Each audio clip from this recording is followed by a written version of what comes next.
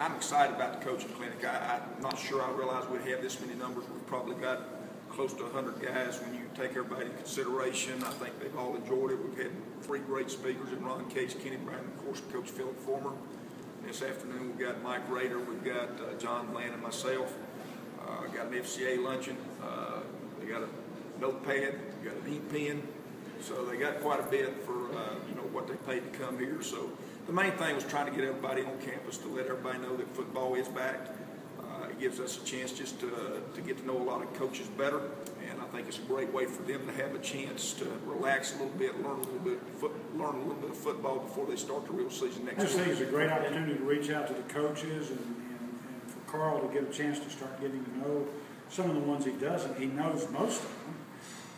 And, you know, spread the word about East Tennessee State football is real and it's alive and moving forward.